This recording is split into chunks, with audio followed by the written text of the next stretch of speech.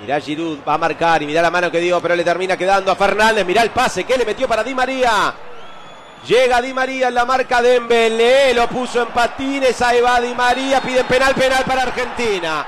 Penal para Argentina. Señoras, señores, en 21 minutos, penal para Argentina. Dembélé, inocente palomita Argentina, con la enorme chance de poner el primero Messi, conseguir alimentando su historia de crack. Le quedó el dulce a Di María. No solamente el uno contra uno, además el uno contra uno contra Dembélé y no contra Conte. Dembélé fue con su displicencia habitual a marcar, pero además también con su inocencia, ¿no? Este, no es lo suyo, puede hacer sombra, puede acompañar, pero quedó en esa zona, acá está el error de Francia, la superioridad cualitativa. Di María, la gran incursión en este partido, era la gran noticia antes, ¿no? Eh, era la gran noticia para Argentina que Di María sea titular. Bueno, uno contra uno frente a Dembélé, un enganche que lo deja mirando, vaya a saber a, dónde, al desierto, a, a, Dembélé, después el enganche y ya a partir de ahí solamente Di María esperó que Dembélé lo rozara, lo tocara. Penal, bien sancionado, toda, toda de Di María, influyente. Y Argentina, señoras y señores, Messi por seguir agigantando su historia. Argentina puede poner el primero, 22 minutos, 0 a 0 el partido hasta que el árbitro de la orden y Messi pueda poner el primero. Brazos en jarra, manos en la cintura. Simón Marcignac da la orden. 3, 2, 1. Viene Messi. ¡Gol!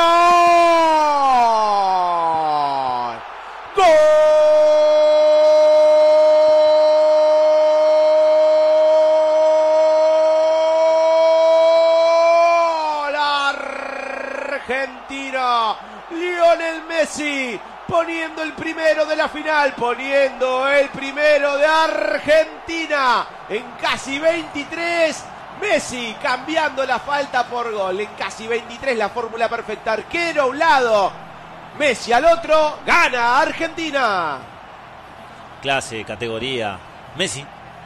Así se explica, no hay que decir más nada. Esto también es aparecer en una final del mundo. Claro, antes, antes se llevará los flashes Messi que lo patea y hay que convertirlo, ¿eh? hay que hacerlo. Penal en final del mundo, hay que patearlo de la manera que lo patea también. Sí, antes, antes, Ángel Di María, Messi apareciendo hasta ahora como Mbappé, dos figuras nominales, pero tiene el penal y lo convierte. Lo que le toca lo hace. Insisto, ¿eh? Di María antes.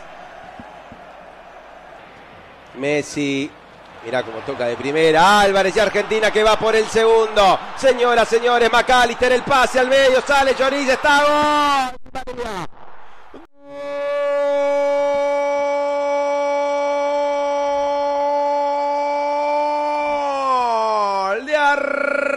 Argentina.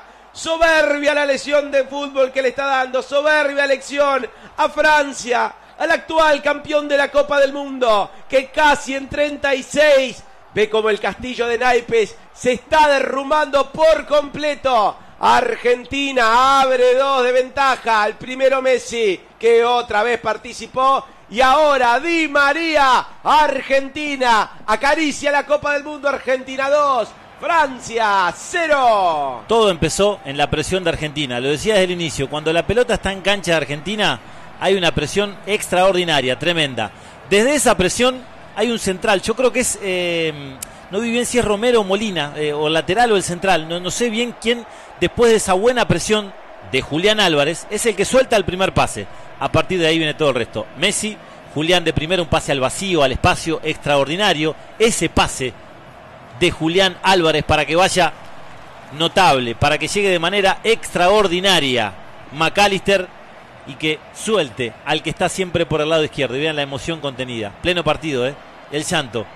Ángel Di María, el hombre, el hombre de esta final de la Copa del Mundo. Y claro que era una buena noticia para Argentina que sea titular.